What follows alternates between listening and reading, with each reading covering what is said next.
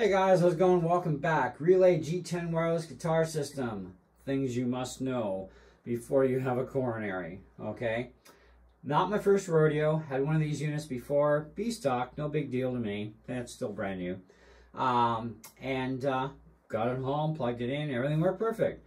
Why I got rid of it, can't remember exactly. But I did nonetheless. And now I'm in a new dilemma where my Boss Wireless started to actually screw up at church for trying to get it to bind properly and lock on. So not a happy camper. um, but uh, it's because somebody nearby has something that's interfering with it. We know we do have ham radio operators around, and uh, but there's just more and more Wi-Fi stuff even going up in Powassan because now we have Bell Fiber Optics, right? Which has Wi-Fi boxes as part of that connection. So I'm thinking that's probably what's screwing with my boss system. Uh, too much garbage in the airwaves, I'm telling you.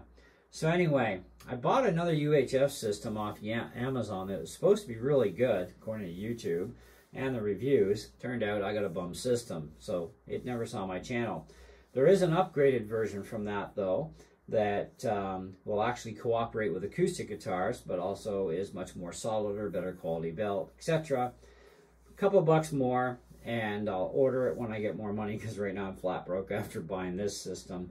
So yeah, I got to take it easy for a bit.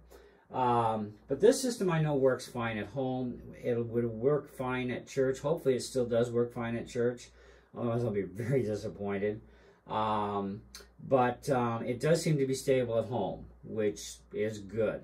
We'll find out, uh, well, not this Sunday, but next Sunday I play again at church. Um, we have a different team up this time, and um, we'll we'll see what happens. But I got this one home, plugged it in, and it didn't just work right away.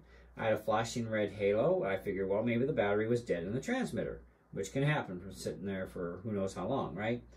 Uh, they don't hold a charge forever.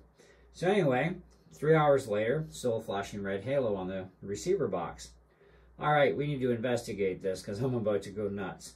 Um, so I ended up doing a Google search about this because the manual wasn't really that helpful. And I downloaded the manual on top of that, so it was like, this wasn't really helpful for my problem. Turned out these use firmware updates for transmitter and receiver.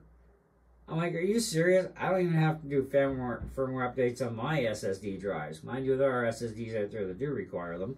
Mine just don't. But anyways, so I'd never heard of even firmware updates on SSDs until recently.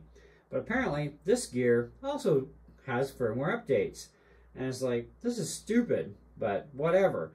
Um, so I did the first major update because I figured, well, you do the newest one on the list. Well, you're going to have to do both or it ain't going to fix your problem. So, and there is a sequence and order in which you, well, not necessarily in order. It doesn't matter which one you do first, but it does matter how, the fact that the process in doing them. You have to install the program, plug in the unit, it'll find your unit, it'll flip up the updates specific to yours uh, piece of gear. Line 6 does have a lot of hardware, by the way, that they sell that does require firmware updates, turns out.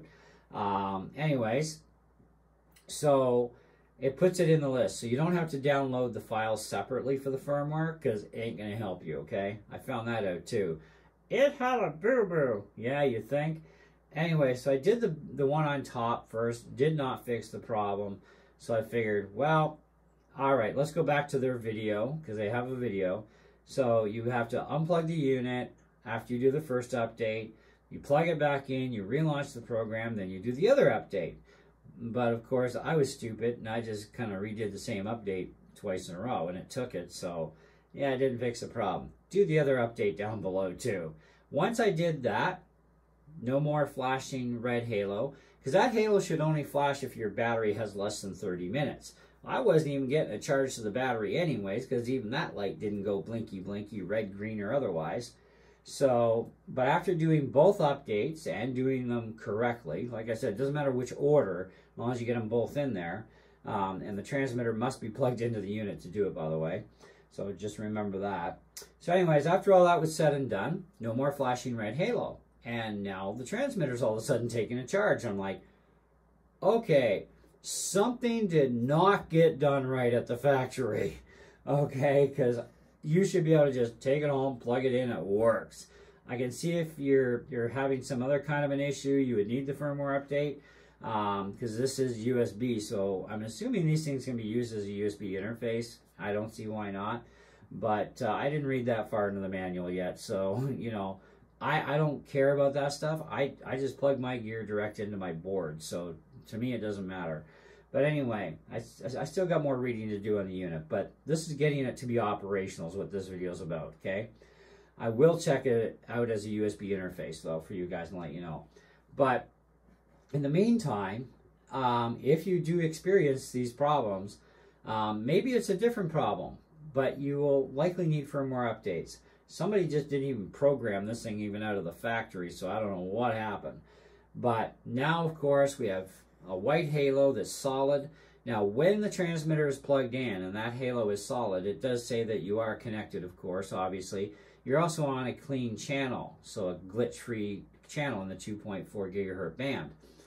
And um, so hopefully we don't have any problems at church, but it does auto-find as soon as you plug the transmitter in, it does auto-find the cleanest within the 2.4 gigahertz band.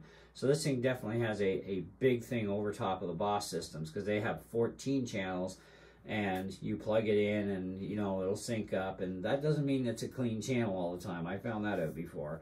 I had to rebind again.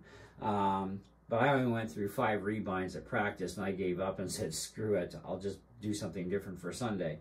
So anyway, um, but now we have a solid white, we have a solid green light, it's fully charged. I tested it at 5.30 this morning when I got up and I've got audio going through my amp now. Everything's fine. And so I plugged it back in, left it on the charger because you might as well. It's not going to hurt anything anyways. It's fully charged. Um, besides, I would anyhow because things naturally lose a charge when they're off the charger anyway. But, um, so, that all works peachy cream. They are definitely great units. Highly recommend these if you like Line 6 stuff. I am starting to like some Line 6 stuff. I still won't give you a nickel for their amps though. But uh, these wireless systems, they do work quite well. And I had this running before when I had one before. I did take it to church and it worked absolutely hiccup free. I just found it a big inconvenience having the base, the power supply, the cable, where my Boss unit is two battery powered pieces. I charge them at home, I take them there. One goes into my DI box, the other into my guitar, and when I go, I'm happy. And yes, these do work with acoustic electric guitars just fine. I don't know about active pickups. I don't have a guitar with one, so I don't know about that. But they probably do, okay? Um, but um, yeah, otherwise, that's what you need to know. Um, if you do have any other questions, let me know. And I will let you guys know if you can also use this as a direct USB interface. I'm pretty sure you can. But I will test that for you.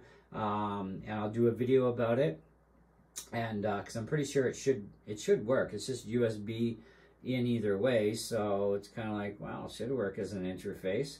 Um, but I, I generally have my gear set up that I just plug everything into my mixer. It goes into my USB interface for my computer, and that's how I do stuff in here because I need more control over stuff. Okay. But um, otherwise, yeah, that's pretty much it. That covers it. Um, like I said, questions, go into the comments down below. Um, and don't be afraid to buy B stock. They're fine. They're, they are brand new.